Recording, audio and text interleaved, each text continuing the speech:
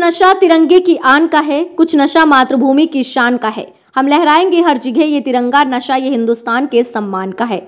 नगर पंचायत तरकुलवा से सभा सदपथ के कर्मठ एवं दमदार प्रत्याशी राहुल जायसवाल की ओर से सभी देश एवं प्रदेशवासियों जनपद वासियों क्षेत्रवासियों को गणतंत्र दिवस एवं बसंत पंचमी की हार्दिक शुभकामनाएँ।